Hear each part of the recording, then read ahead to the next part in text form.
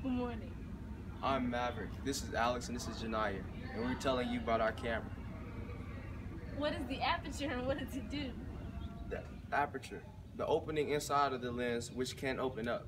It increases intensity of light. It never closes all the way. All right, how can you control the aperture? When you open the aperture, it, it controls the intensity of light in your exposure.